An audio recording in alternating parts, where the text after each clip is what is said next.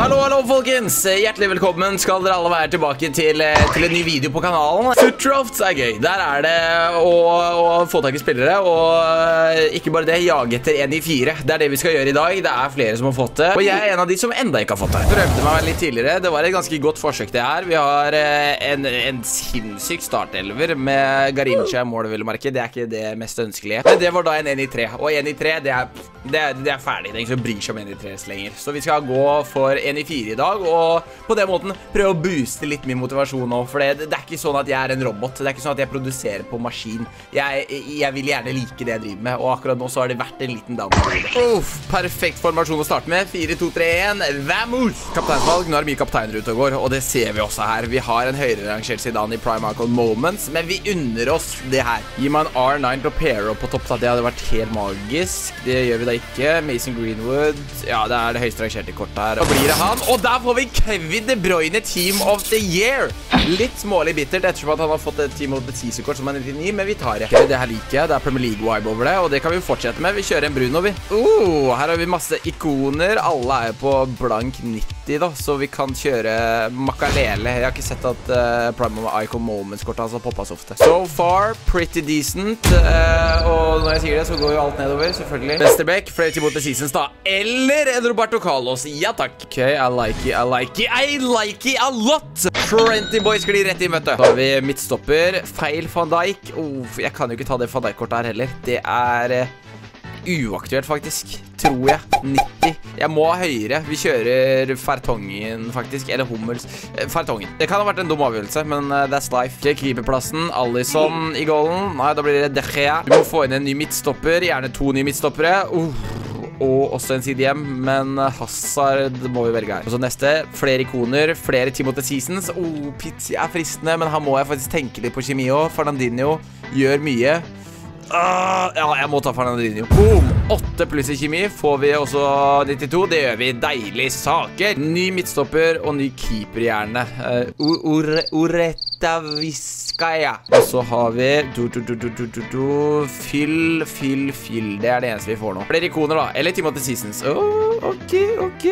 Gabriel, kanskje. Så da har vi ferdig reserver og startelver. Ikke så altfor mye vi kan gjøre, men uh, vi kan prøve å dunke inn Hazard. Oh, bare minus 1, det kan jeg leve med. Er det 92 eller 93? Deilig. Ok, men da er vi da er vi i hvert fall på gang med noe. Mere, mere, mere. Åh, Valverde er ikke bra nok sånn egentlig. Vi trenger høyt rangerte 90. Men det holder seg på 1 i 3. Oh, jeg vil jo gjerne ta Ronaldinho, men Van er fristende. Simpelthen for den er høyere rangert enn Mason Greenwood. Men vi trenger rating. Det er, det er Dinjo. Kom an, da. Kom an, da. Kom an, da. Kom an, da. Ja, David, kanskje. Hvis vi tar han inn på CDM istedenfor. Uff, da ryker kjemien der. Men vi kan ta Ronaldinho inn. Tilbake på 99. Uh, vi kan booste opp rating litt mer på benk. Får vi en i fire? Nei, det ligger på en i tre, altså. Men uh, ja, so far ikke så altfor gærent. Enda en CDM. Nå må vi få noe ekstremt høyt rangert. Oh, ja, Gattuso. Mistopper. Vi er avhengig av å få en van Dijk her nå. Kom an, da, van Dijk. Ah, ned til en i 2. Uh, tilbake til 1 i 3. Nice. Skal vi se, skal vi se, skal vi se. skal vi se Nja, Ramos. Ikke det aller verste, men uh, vil jo helst ha bedre. Og her får vi Timothy Allison. Nei da, det er en failure. En massiv L. Det rakna faktisk helt sammen, folkens. Det blir 1 i 2, men uh, altså visuelt sett er det ganske pen draft ratingmessig. Vi må opp to hakk, så litt å gå på. Så det er pent, da. Det, den toppspillerrekka der, den er samme formasjon to ganger på rad. Ja, jeg tenker det. Det er en metaformasjon når det kommer til å få bra, bra players. Her blir Ronaldinho rett til benken, tenker jeg. Deilig, det. Bestplassen R9 Ronaldo. Eller oh, Cristiano. Uh, Sergio Aguero. Uh, Delpi. Delpi funker i mange posisjoner. Jeg tror det blir Delpi. Vi satser på Team of the Year uh, CR7, altså. Ok, ok, ok. Det er en start, i hvert fall. Her får vi Ah, Maradona! Si! Mer icons, takk. Oi, oi, oi, oi, oi. Ask and you shall receive. Nå har vi fått fire prime icons. Det her er jo absolutt ikke en dårlig start. Vi må bare få noen litt bedre. Sånn som Pelé, sånn som Pelé, sånn som Sokrates. Ok, greit. Ronaldinho pluss de fire gutta her. Vakre saker. Four icons. Kom an. Fortsett. Jeg liker det. Uh, Kimmich, kanskje. Han har Timothy Season-kort. Luis Gustavo linker faktisk ganske sterkt til et par av de. Så vi kjører Gustavo, tror jeg. Ja, vi gjør det. Venstre back. Skal vi se, skal vi se, skal vi se. skal vi se Tejes er der. Grimaldo. Jeg tenker egentlig Grimaldo. Vi må dunke høyest rating. Central back. Oi, deilig. Eller ja, sånn tålig i hvert fall. Vi tar en Baresi her. Det er Icos galore i det draftet her. Det er helt sinnssykt. Og Tiago, hello. Fortsetter. CDM. Er det noe Sanetti her eller noe? Nei, bra. Brasil. Det funker. Det er en sterk link. Sjekke høyre back-plassen. Oh, det er vanskelig å ikke ta Valencia her. Og jeg tror jeg må det, tross mangel på kjemi. Og keeperplassen. Vi er på 1,90 bare nå. Å, herregud, det er perfekt. Vi er på 1,93. Altså minus to, to kjemi, da. Men uh, Jesus, det her er en bunnsolid start. Reservene, det her er viktig. Og så starter vi med det her. Uh, Babel, bare for den er rosa hår. Kom an, det her er en bra border, men ikke bra nok. Jo, jo, jo, Bisakka gjør litt, tror jeg. Vi dunker inn Bisakka her, så får vi vel full kjemi. Det gjør vi. Holder ratinga seg. Det gjør den. Ok, så det er en sterk 1-9-3 enn så lenge. Ok, ok, ok, ok, ok. Oi, oi, oi. Ok, nå må jeg virkelig tenke her. Carlos Alberto booster rating. Kan bytte han inn på venstrebekken, tenker jeg. Hazard gjør ingenting i den formasjonen her. Nei, jeg må ta Alberto her. Så får vi pluss fire på den sida der. Blir det ikke noe opp, nei. Ikke enda. Og der får vi faktisk full links òg. Å, for et draft! Uff, det er potensial her, faktisk. Og det blir bare mer og mer og mer og mer og mer potensial her. Det her er viktig valg òg. Uh, vi spiller med Ronaldinho på venstrebekken. Roberto Carlos, logisk valg. Best for rating. Vieira for å booste med en én pluss-rangering på midten. Uh, best for rating, best for rating Carlos Nå er jeg seriøst skikkelig i tvil her. Jeg tar faktisk Vieira. Det er, det, det er valget mitt. Jeg tar Roberto Carlos. Det blir valget mitt. Eller blir det best Helvete! Roberto Carlos, ferdig. Nå går vi videre. Så gjør vi sånn, og så gjør vi sånn. Og da får vi ikke noe overall boost på stallen. Nei, det gjør vi ikke. Greit. Neste spiller, hva kan vi få? Å, en pappe! Deilig! Det er kanskje ikke Team of the Air-utgaven hans, men uh, hvis vi plukker ut for eksempel Jeg tror kanskje vi må ta ut Sokrates eller Kaka. Vi tar ut Sokrates, og så gjør vi sånn, og så gjør vi sånn. Da har vi 100 kjemi igjen. Får vi boost i rating? Det, det, vi gjør ikke det, altså. Jesus, det er hardt å få den 1 i 4. Ok, mer, mer, mer, mer, mer. Eh, Havertz, greit. Så er det en bunnsolid 1 i 3. Det er det. Å, det blir bare bedre. Det blir bare bedre. Zidane, kom inn. Får vi opp uh, ratinga nå, da, eller? Vi, vi, gjør ikke det nå heller. Jesus. Hallo, hva, hva er det du skal til? Jeg, jeg, gjør alt riktig her nå. Ok, neste spiller. Øh, få det bort. Jeg tror jeg trenger Team of the Year van Dijk. Eller Team of the Season van Dijk, for den saks skyld. Øh, det her er ikke bra nok. Team of the Year van Dijk. Team of the Year van Dijk. Øh, ok, én pluss overall på Thiago, da. Kan det lykkes hvis vi gjør sånn? Hallo? Er det fremdeles 1,94? Siste valg. Du får ikke noe bedre enn ja, nettopp alle sånt, så da får vi bare ta en av de her. Er det her helt seriøst et 1-2-draft? Det, det, gir jo null flate mening. Åssen kan jeg booste? Vi har 91 rangert. 91, ja, jeg har faktisk ikke så mange høyere rangerte spillere på benken. Jesus, jeg har maksa laget, og det er 1 i 2. Det er smell! Det var ingenting jeg kunne gjøre for å forbedre startoppstillinga. Det var 91 på alle laveste rangerte der, og 91 var på de to høyeste ikonene mine på benken også. 1 i 2. Det, jeg vil si at det er nesten kriminelt at det ender med så dårlig resultat ut ifra et så bra draft. OK, draft Polett eh, draft, da. Ja, det blir det. Det er mye gode kantspillere. Vi prøver oss på en 3-4-3. Hallo, da, er Sander.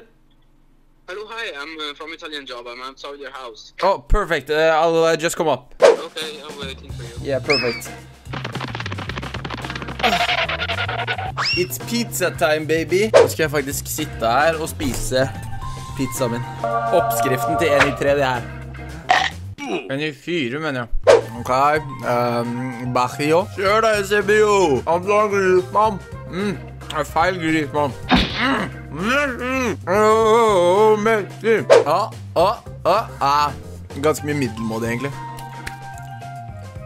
Jeg tar den Maldinien der, ja. Mm. Oh, Godin, halla. En i to så langt, 100 kjemi, ok. Ok, Didi, greit. Mm, mm, mm, mm, mm, mm, mm. Dårlig. Livet som YouTuber her. Du har matpause mens du jobber. Den drofen her er kjørt om jeg ikke får den helt syk snart. Nei, det, det, her er dårlig. Altså, det her er spinnvilt. Jeg, jeg, jeg, skjønner ikke hvordan det her er mulig, faktisk. Den, det laget her er samme rangering som det forrige. Det er jo helt bak mål. Det er, det er synd. Det er trist å måtte melde, men vi må gå videre, og vi må bare dømpe den her rett i søpla. Det her går ikke bra, folkens. Jeg, jeg sverger. Det, det, det er ikke mulig å få det til nå. Skal vi se. Nå skal jeg bare lempe inn alt av høyt rangert, og så skal jeg se. Det her går så forbanna drit!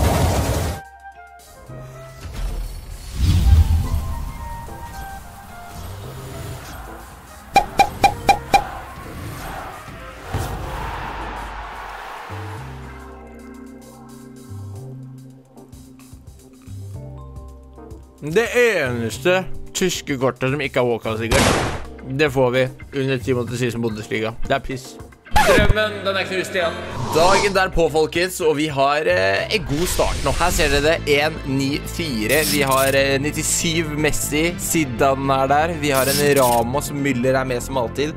Og nå har jeg faktisk skikkelig troa. Reserven er ikke fullført engang, og vi trenger bare mer, mer, mer. Eh, ikke så lavt, eh, lavt rangert at det, det er jo greit å ta med seg. Vi kjører på med Piquet enn så lenge, så får vi luka vekk de der eh, sølvspillerne her. Neste spiller Og det taper seg med en gang jeg begynner å filme, vet du. Vi trenger en 99 van Dijk. Ah, 91 det er for lavt, vet du. Ok, Da gjør vi sånn her i bensin. Vi er på 98 kjemi. Det kan jeg ikke klage på. Og ting ser greit ut. Vi er fremdeles på 94 i eh, vurdering, da, så hvis vi fortsetter med det her, så kan det gå. Mer høyt rangert, mer høyt rangert. Det er for lavt. Kommer vi opp igjen hvis vi gjør sånn? Det gjør vi ikke. Da trenger vi en høyt rangert midtbanespiller her. Kevin De Bruyne, Kevin De Bruyne. Ah, det kan hende det går rett ad undas her nå, men vi får en Ronaldinho. Det kan bidra til ikke en i fire ennå, nei. Ok, men da gjør vi sånn her. Bytter ut Coutinho. Og så gjør vi sånn. Og da har vi 100 kjemi i hvert fall. Kom an, da. Noe bra på topp. Uff, Ronaldo. Vi kan jo ikke si nei takk til han. Fremdeles 1 i 3. Hvis jeg dunker han inn på spissa, hva skjer da? Skal vi se her nå. Fremdeles 1 i 3. Oi, oi, oi, oi, oi. Det her er ikke så lovende akkurat nå. Jeg merker det. Team of the year Mbappe. Det må skje. Åh, eller R9. Å, herregud. Nå kan det faktisk hende at vi kløtsjer. 1 i 4. Og vi kan jo starte nå. Og der har vi 96 i kjemi. Å, herre min hatt. Ok, please, ikke choke det her nå. Vær så vennlig, vær så vennlig. Uh, hvis vi tar og dunker han opp dit, bytter om de to, så har vi faktisk 100 kjemi. Det er én spiller igjen. Vi har 90 rangert piké å gå på. Endelig, folkens. Det kan skje. Oh my god, oh my god, oh my god. Team of the year, Alison. Please, kom an, kom an. Jeg tror vi har klart det. Jeg tror vi har klart det. Å, vi klarte det! Yes! Å, det er så deilig. Jeg har brukt så mye spenn på de greiene her, og endelig klarer vi det. Vi kan dunke det han nå.